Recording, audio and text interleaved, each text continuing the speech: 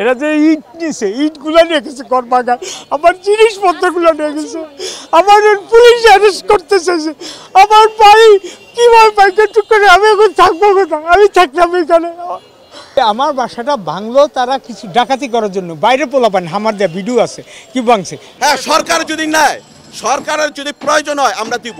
আমাদের নিয়ে বসতে হবে আমাদের ক্ষতিপূরণ দিতে হবে। সরকার আজও পর্যন্ত আমাদের নিয়ে বসে নাই। এটা বর্তমানে রাস্তা আছে তিরিশ ফিট এখন, এই যে আমাদের প্ল্যানও তিরিশ ফিট রাস্তা অলরেডি দেখানো। আর ট্যাপ কোর্স হইল দুই হাজার আট সালে। আর আমাদের রাজকের প্ল্যান হয়েছে দুই হাজার, এই, তিন সালে। দুই হাজার তিন সালে আমার, দুই হাজার তিন, এই এই প্ল্যান হয়েছে তখন রাজুকে বলছে যে, আপনাদের প্ল্যান রাইট তখন এখানে যে ভাঙ্গে, যার ইনচার্জে তারে ফোন দিছে রাজুকে। ফোন দিয়া বলছে যে, এই প্ল্যানের পাঁচ ফিটের ভিতরে যাবেন না। গেলে তাদের সাথে বসবেন। যদি আপনার জায়গার প্রয়োজন হয়, তাহলে তাদের সাথে পয়সা ক্ষতিপূরণ দিয়া ছয়তলা ভবনের যা ক্ষতিপূরণ আছে, দিয়া এরপর আপনি ভাঙবেন, তাদের সাথে বসবেন। এই কথা বলছে, আর বলছে যদি সিটি কর্পোরেশনে ভাঙতে যায়, তাহলে আপনারা কাগজ চাইবেন।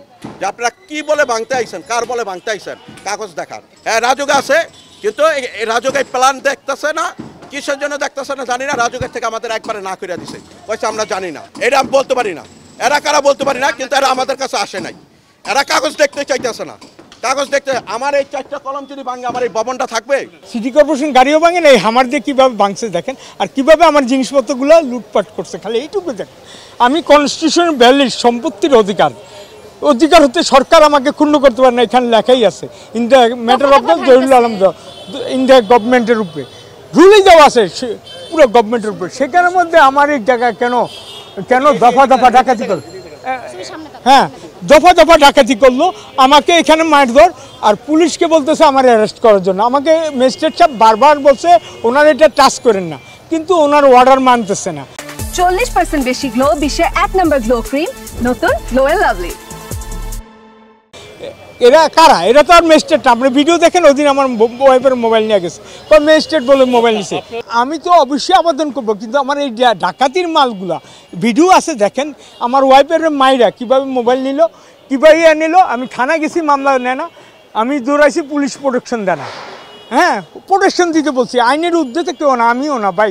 কনস্টিটিউশন বিয়াল্লিশ আর সাতাশ ইকুয়ালিটি অফ ল সেটা আমি উপরে রিড করা অর্ডার দেওয়া। তিনটা অর্ডার এবং ভূমি মন্ত্রণালয়ের মিনিস্ট্রি থেকে অর্ডার দেওয়া। সেই সম্পত্তির মধ্যে কীভাবে হাত দেয়? আমার কথা সেটা না আমি কোনো নোটিশ না, কোনো নোটিশ পাইনি। কিন্তু আমি রাজকীয় ওই পরিপ্রেক্ষিতে বারবার উত্তর দিয়ে দিছি। যে আমি শুনছি যখন বাড়ি এলাতে চেয়ারম্যান বলছে রাজকের চেয়ারম্যান ঢাকা সিটির মেয়র বলছে, আমার সম্পত্তি হাত দিবে না।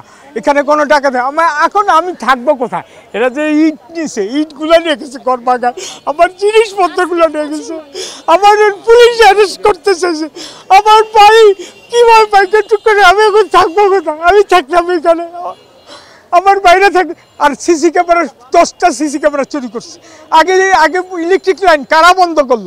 আর কেন আমার কথা হলো সিটি কর্পোরেশনের মেয়র যে কাউন্সিলর সে হেল্প করবে? হেল্প না করে কেন সে কতগুলা বাহিনী লেলা দিল এখানে আমার উপর? সে কেন? এই যে সিটি কর্পোরেশনের সিরাজুল ইসলাম উনি এখানে সে এখানে কাউন্সিল সিরাজ বাটকি সে জোর করে কাউন্সিল যেইভাবে হোক হয়েছে। কিন্তু সে তো আমাদের জনপ্রতিনিধি। সে তো হেল্প করবে। আমার এমপি পর্যন্ত অর্ডার দিচ্ছে এমপি সাহেবও বলে দিছে ওনার এখানে কেউ হাত দিবে না। কেউ হাত দিলে ওর হাত ভেঙে যাব। স্থানীয় ওই রাজা সাক্ষী আমার এটা করছে।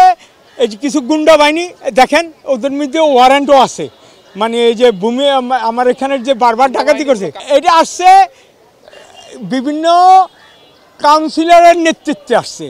এবং বিভিন্ন গুন্ডা আরও আরও উঠেছে। আমাদের সমস্যা হবে। আমাদের বাড়িঘর ডাকাতি কেন করল? উনি মালামালগুলো ফেরত দিয়ে আমার কাছে কাউন্সিলরের রিকোয়েস্ট কাউন্সিলর কেন? তার তো কোনো অর্ডার নাই বাংলায়।